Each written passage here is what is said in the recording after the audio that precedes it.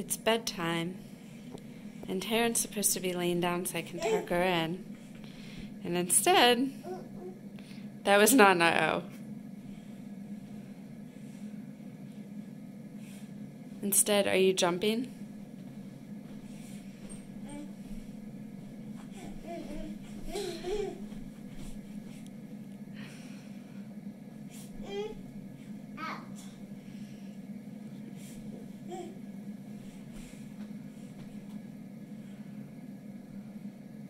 Can you lay down so I can tuck you in?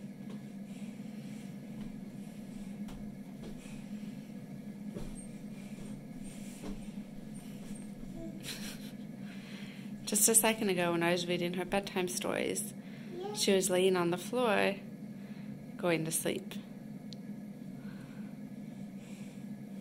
Good night. I love you. Can you say good night? Good night.